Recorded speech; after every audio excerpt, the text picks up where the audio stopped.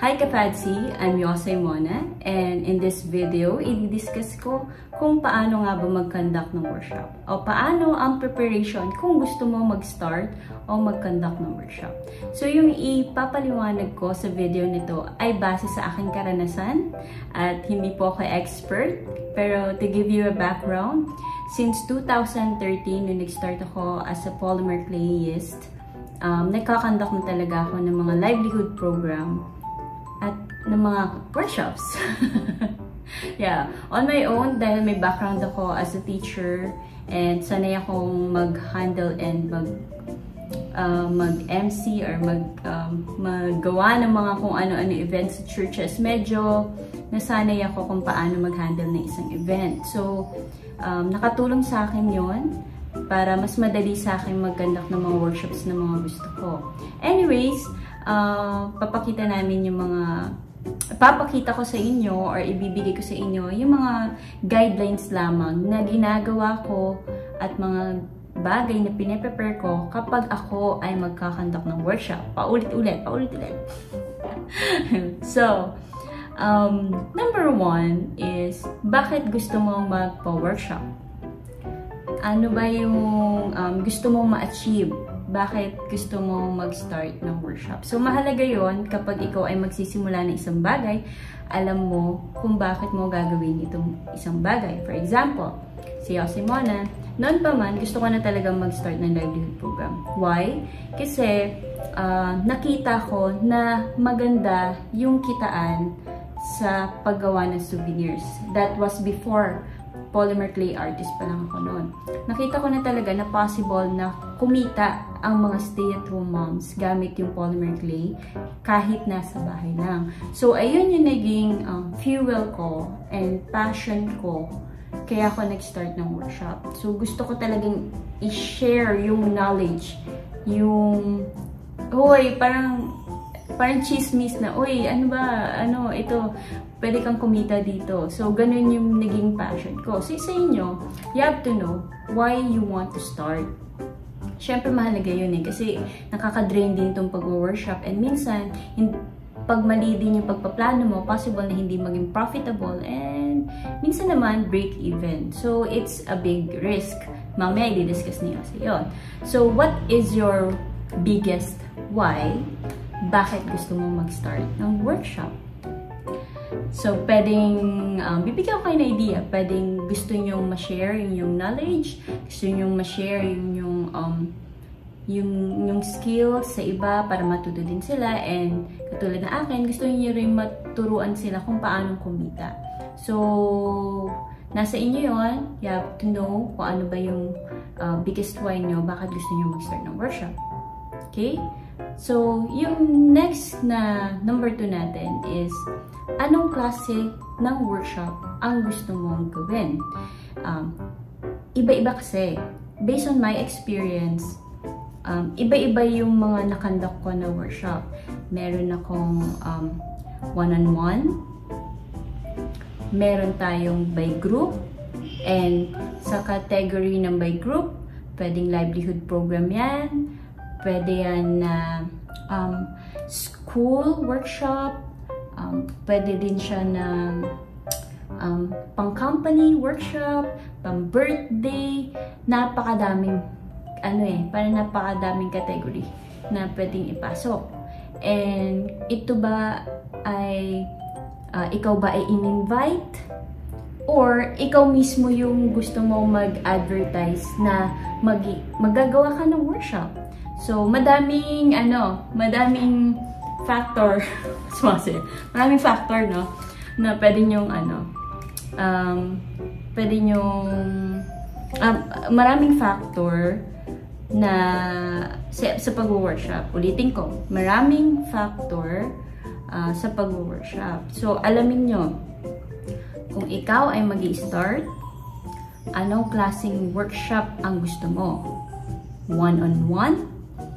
Or by group.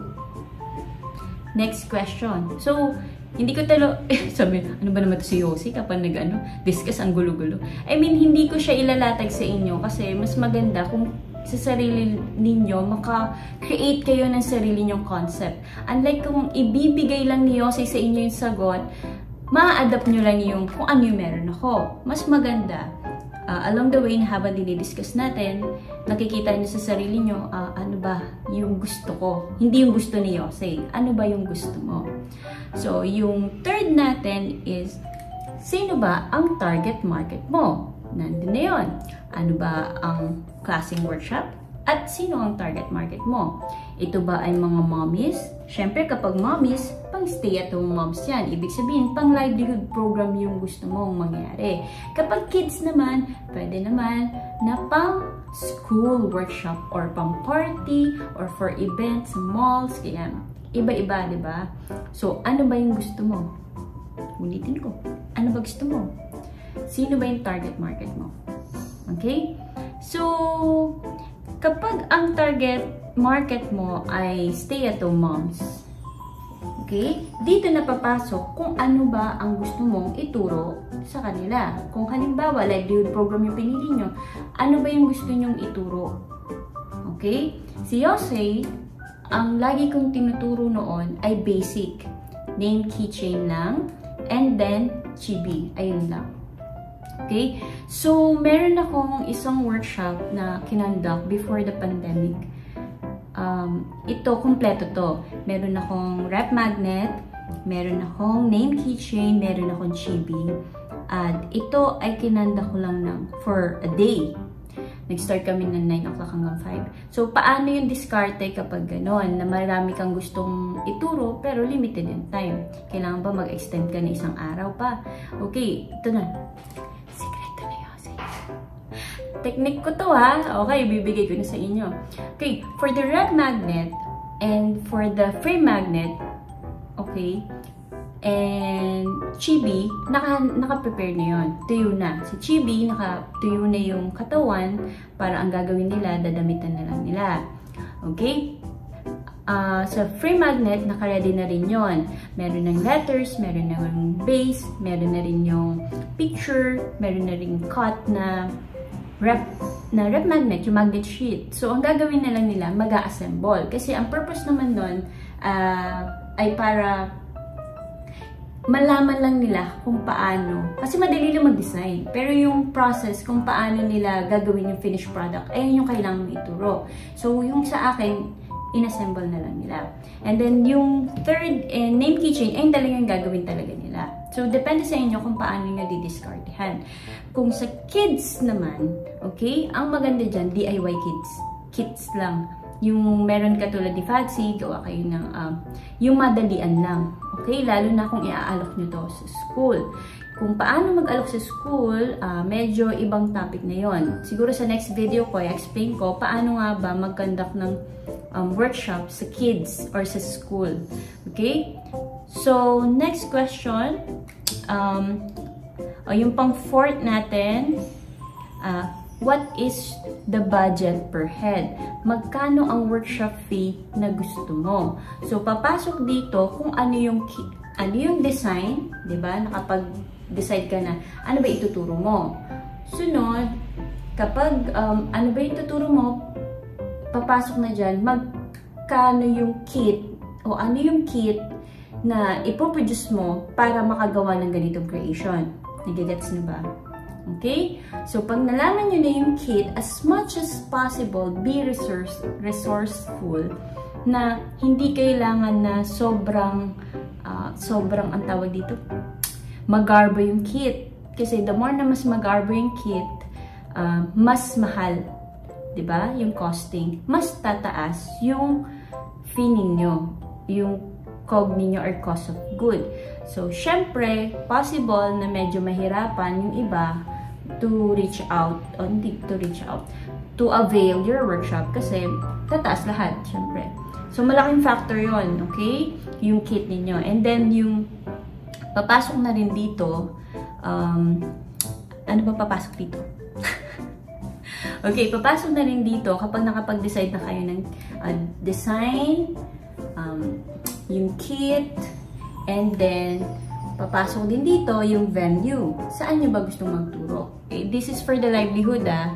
Okay, saan nyo gusto magturo? Kayo ba ay magka-cafe? Kayo ba ay mag-rent ng lugar? Sa bahay ninyo? Pag sa bahay lang ninyo, kung may space kayo, walang problema doon. Kasi madali lang yun eh. Nung nag-umpisa ako, sa bahay lang talaga ako. One-on-one -on -one lang yun hanggang 3 max of 3 lang. Tapos, nung nagkaroon ako ng shop, kasya lang, 5, mas madali sa akin yun kasi um, meron na akong shop. Pero before, kapag pupunta ko na Manila, ang ginagawa ko, naghanap ako ng coffee shop. So, ganito yung usapan sa may-ari. Pupunta ka sa coffee shop, tatanong mo kung pwede i-rent yung place or meron silang, meron silang meron silang table lang na pwede kayong mag-conduct doon kasi gusto din nila yung for promotion. Plus, kikita pa sila. Okay? So, ang gawin ninyo, tanong ninyo kung pwede bang ang bayad namin ay per head na lang. For example, uh, consumable yon consumable ng food. Halimbawa, uh, lima po yung participants ko. Pwede po ba instead of paying for the place, pwede ba na uh, o-order na lang po kami na worth 350 or worth 250 na, na pagkain sa inyo. And that's, ano, yung payment ninyo para dun sa lugar. So, depende yan. Makipag-usap kayo sa owner ng mga cafe. Pero kung mga rent, talaga mga parang office, eh, hindi office eh, parang mga event seminar, medyo mataas yun kasi usually um, dati 3,000 pero max of ano na yan, 10, gano'n. So, wala pang food yon So, pag-isipan nyo pa rin yung food. So, kukompitin nyo na yan. Magkano yung kit, uh, magkano yung um, venue, yung food ba, sagot din ninyo. Siyempre, kung whole day yan. So, lahat yan i-consider ninyo. Plus, yung transpo nyo, and then yung labor ninyo. So, depende yan. Pwede naman na dalihin ninyo ng uh, bulk. For example, target nyo is 10. Kung 10, pwede nyo naman liitan um, na budget. Hindi ako magbibigay ng budget kasi minsan, um, depende kasi ako, ako manufacturer ako, di ba? So, depende yung offer ko, depende dun sa kit na gusto nila or ano yung gusto nila matutunan. So, it depends. Pero, may mga artist akong kakilala na um, konti lang yung kit nila, pero malaki yung fee nila. Like, for example, um, per head nila is 3,500 to 5,000. Depende sa ituturo nila. So, depende din yun sa value mo, sa sarili mo na yung time mo ay uh, worth it ba na kumita lang ako ng 1K, ganyan. That's for, ano, one head lang, ha? Tapos magtuturo ka lang ng um, 8 hours. Paano kung naka 10 ka? So, meron ka ng 10,000. Pero that's, ano pa lang. Sabihin na natin um, net Okay? So, ang daming factor na dapat i-consider. Okay? After that, um, actually, may nakalimutan ako. Um, kapag may nakalimutan, na-skip ni Yosei, no?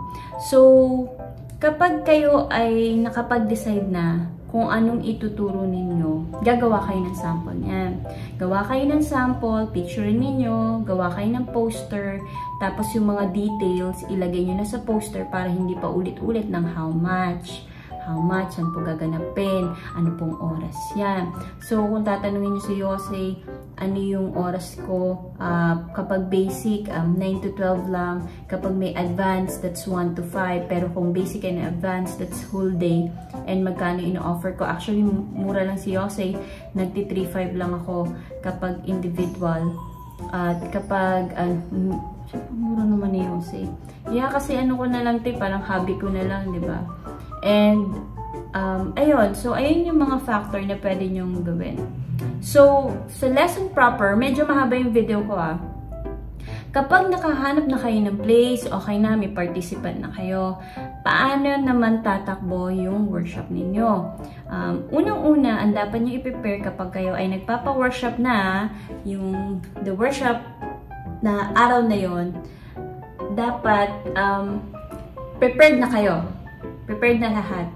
Okay? Uh, ahead of time, maglista na kayo ng kailangan nyo sa para, para sa araw na yun. Dali nyo na lahat ng kailangan ninyo. Okay? And, um, mas maganda sana kung merong projector. Ako, nagdadala pa ako ng TV noon. And then, meron akong laptop, meron din akong parang webcam. Tapos, ang ginagawa ko, meron ng application sa website na ginagamit ko para uh, magkaroon ako ng live action. So, kahit hindi ako tumayo, nakaupo lang ako, ituturo ko yung step. Halimbawa, step number one, paano mag-mold. Pag tunuro ko, uh, okay, uh, all eyes, dito lang muna, tuturo ko, and then after nun, kayo naman gagawa. So, ganun yung ginagawa ni Jose. Para hindi yung pa isa-isa, pa isa-isa. So, ang mo, after mo sa step na yon iikot ka, titingnan mo yan isa-isa, kasi minsan hindi pa rin nila magets. Okay, okay lang yun kasi baguhan nga. So, ayun yung pinaka-process ko ng pagtuturo. Um, ano pa ba? So far, ay lang naman, kasi basic lang naman. Kasi kung alam mo naman talaga kung paano maggawa, napakadali na lang sa'yo paano ituro yon Basta make sure na step by step at yung tatansyahin yung time mo na matatapos ba nila to sa ganitong oras. So, wag, kay, wag ka masyadong ma-overwhelm na or wag kang masyadong um, parang kampante na kaya nilang tapis, tapusin. As much as possible, ikaw mismo, meron kang time timetable na oh, ganitong oras dapat tapos na sila sa ganito, dapat ganito tapos na sa ganito. Okay? So, masaya magpa-workshop and napaka basta iba yung feeling pag naumpisahan nyo. Siguro sa umpisa, medyo magkaka-problema pa kayo, may naiwan na ganito, may kulang na ganyan sa kit. So, it's part of ano eh, the journey na minsan. Kasi ako, ang dami ko na rin na-experience noon. Ang hirap pa noon kasi um, nagpapa-workshop ako, bit-bit-bit-bit ko pa si Flynn. Kasi si Flynn talaga ever since um, um, breastfeed, breastfed baby siya. So, hindi siya pwedeng iwan ko. So, ang nangyayari, talagang karga-karga ko siya. Meron akong, um, may picture kami noon eh, flash natin. Meron kaming carrier. So, habang nadede siya, nagtuturo ako. So, ganun yung setup namin. So, ang mas maganda lang, kung masyadong marami na, 10 or 20 pataas, mas maganda meron kayong assistant. Okay? Huwag kayong manghinay magbayad sa assistant. Okay? Pwede nyo bayaran ng 1,000 sa isang araw na yon. Okay?